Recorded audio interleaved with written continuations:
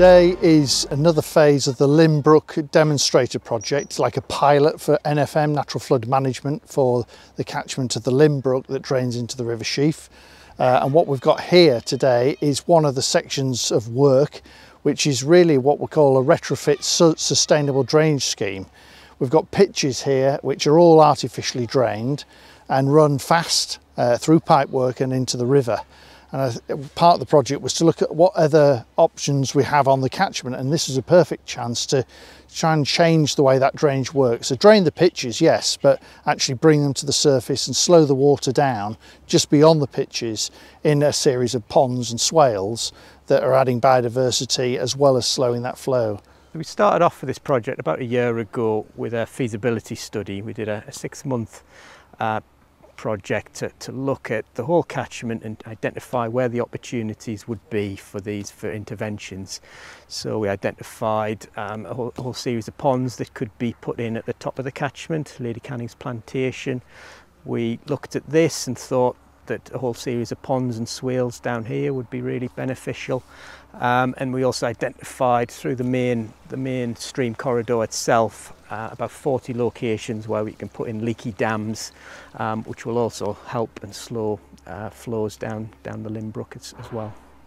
Within the Whirlow playing fields, we've installed a variety of natural flood management techniques in order to try and catch and slow the flow of water that's falling in the upper Don catchment and limit the amount of water hitting Sheffield um, over time. What we'll want to do is to slow this, uh, this water out, you know, out in the countryside more, keep it, on, keep it on the land, let it filter through more slowly so that there isn't a big flush of water into the Sheffield city centre or, or, or to the areas that are vulnerable, vulnerable to flooding and it will be, it will be a much slower release so that those peak flows, the peaks within the river, are not going to be so high. The Limb Brook demonstrator projects are a collaborative working partnership with the Environment Agency, Sheffield City Council and the Sheffield and Rotherham um, Wildlife Trust working with the contractors um, Wildscapes. It's been a real, a really good collaborative working partnership and everyone has brought in various different aspects of expertise and local knowledge and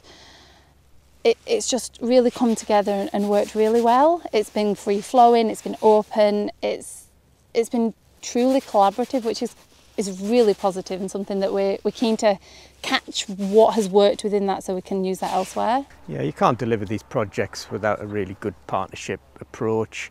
Um, the Environment Agency, they're obviously the, the regulator, they're looking at the, the catchment as a whole and are able to draw down funding, bring funding into projects like this and provide certain areas of, of expertise.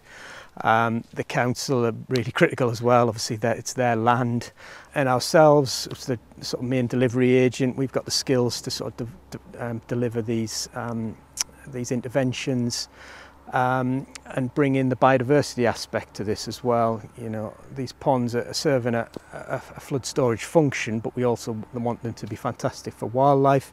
Uh, over time, they'll build up a really nice uh, wet vegetation um, within them. The swales themselves will vegetate up, and alongside the other habitats that we've got here, wildflower meadow, scrub, trees, you can have a really nice suite of, of habitats supporting a whole range of wildlife. Having been here now physically, I'm just awed by it, not just looking at how we manage the, the floods, but adding the biodiversity. I think that's the key bit.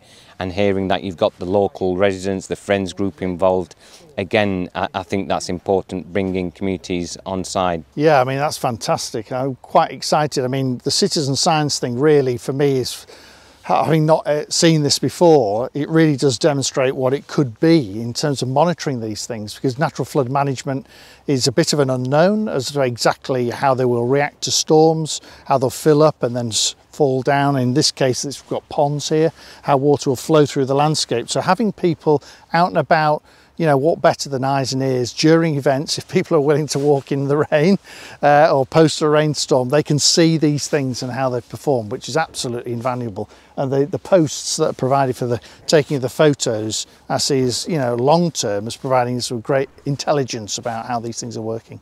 Forward planning is key and to see projects like this to, to prevent you know these hotspots where the city comes to a, a standstill, having more of this prevention measures in our communities. It's not just about preventing floods, but as as we see it greening over and the biodiversity coming in, I just think it, you know, with the habitat, it's just an added community benefit.